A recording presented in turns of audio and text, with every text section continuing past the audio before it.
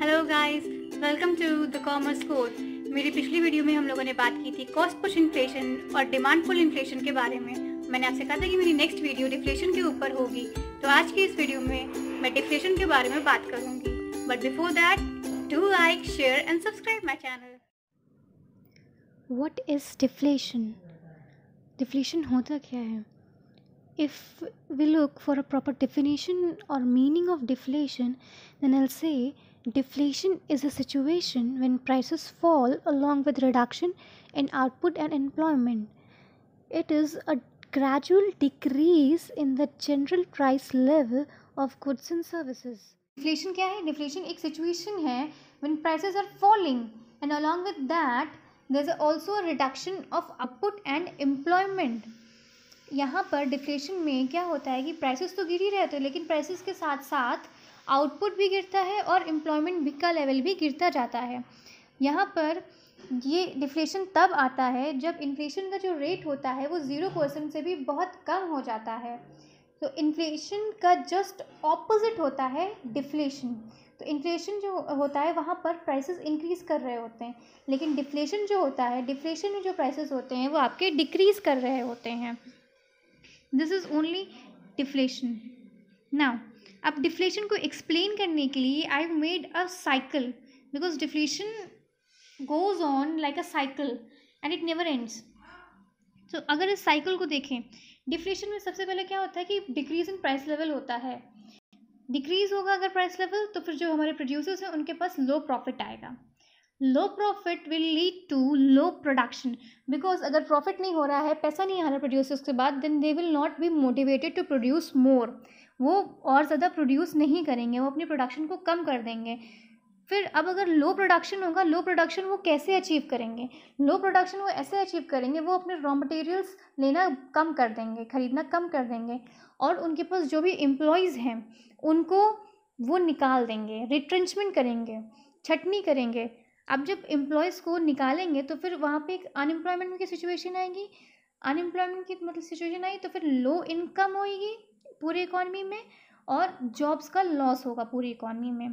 तो low income अगर हो रही है सब सब लोगों की इकॉनमी में तो लो इनकम की वजह से लोग क्या करेंगे? अपना जो कंजप्शन है, उनका जो एक्सपेंडिचर है, वो कम कर देंगे। जब उनका एक्सपेंडिचर और कंजम्पशन कम हो जाएगा जब तो वो डिमांड, उसका मतलब यही रहेगा कि वो डिमांड कम करेंगे। अब अगर वो डिमांड कम करेंगे तो जब डिमांड ही नहीं तो फिर प्रोड्यूसर्स प्रोड्यूस क्यों करेंगे? फिर डिमांड कम, फिर से वापस से प्रोडक्शन कम प्रॉफिट कम, और इसी तरह ये साइकिल चलती रहती है, चलती रहती है, चलती रहती है। इसीलिए कहा गया है कि inflation is unjust but deflation is inexpedient ये कीन्स ने कहा है।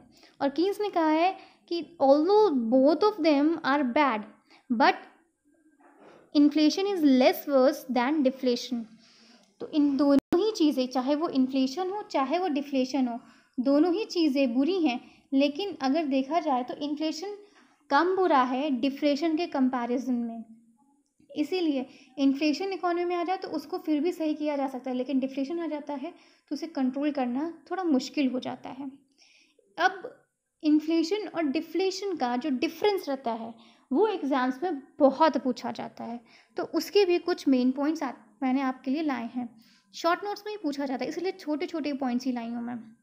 यहाँ पर सबसे पहले तो आप इसकी मीनिंग लिख सकते हैं कि what is inflation gradual increase in price level is what which you call inflation and what is deflation just the opposite of inflation deflation क्या होगा? इन्फ्लेशन का जो भी टू पॉइंट्स आप लिखेंगे, उसका जस्ट ऑपोजिट आप लिखेंगे डिफ्लेशन में. तो gradual increase in price level कहाँ पे? इन्फ्लेशन में. तो gradual decrease in price level आ जाएगा आपका डिफ्लेशन में. ना इन्फ्लेशन का नेक्स्ट पॉइंट क्या रहेगा? वहाँ पर प्रॉफिट्स होते हैं बिज़नेस में. क्यों प्रॉफिट्स होते हैं? क्योंकि इन्फ्लेशन में डिमांड बढ़ रही होती है. इसीलिए बिज़नेस में प्रॉफिट्स होते हैं. डिफ्लेशन में क्या होता है? लॉसेस होने लगते हैं बिज़नेस को, या फिर लो प्रॉफिट्स होने लगते हैं बिज़नेस को। ये इसलिए होता है क्योंकि यहाँ पर डिफ्लेशन में डिमांड जो है वो कम हो रही होती है। नेक्स्ट पॉइंट है इन्फ्लेशन लीड्स टू एम्प्लॉयमेंट अब सीधी सी बात है, अब क्योंकि इन्फ्लेशन में डिमांड बढ़ रही होती है, इस वजह से एम्प्लॉयमेंट जो है वो जेनरेट होता है और बढ़ता है। Deflation just the opposite leads to unemployment क्यों? क्योंकि डिफ्लेशन में डिमांड कम हो रही होती है इसी वजह से वहाँ पर अनएम्प्लॉयमेंट की सिचुएशन आती है। नेक्स्ट पॉइंट इज़ इन्फ्लेशन में इंक्रीज इन वेजेस होती हैं। क्यों? बिकॉज़ जब एम्प्लॉयमेंट मिल रहा है लोगों को इन्फ्लेशन में तो फिर इसीलिए उनको, उनकी जो वेजेस होती है, उनकी जो इनकम होती है, वो इंक्रीज़ कर रही होती है। ना, अब यही अगर डिफ्लेशन में देखा जाए तो डिफ्लेशन में क्या होता है? वहाँ पर डिक्रीज इन वेजेस होता है। क्यों होता है? क्योंकि यहाँ पर तो अनएम्प्लॉयमेंट हो रहा है, जो लोग ऑलरेडी एम्प्लॉयड है, उनको भी जॉब से निकाला जा रहा है। तो इसीलिए हमारी ओवरऑल इकोनॉमी को देखा जाए तो वहाँ पर डिक्रीज होती है वेजेस में। फिर द लास्ट पॉइंट इज़ कि इंक्रीज इन डिमांड ये तो सीधी सी बात है। इन्फ्लेशन में इंक्रीज इन डिमांड होती है। और डिफ्लेशन में क्या होता है? डिक्रीज इन डिमांड होती है। Okay guys so that's it ये था deflation. So guys this was all about deflation. I hope आपको ये वीडियो समझ आई होगी। आपको कोई भी क्वेरी हो तो आप कमेंट सेक्शन में पोस्ट कर सकते हैं। मैं उसको सॉल्व करूँगी। And don't forget to like share and subscribe my channel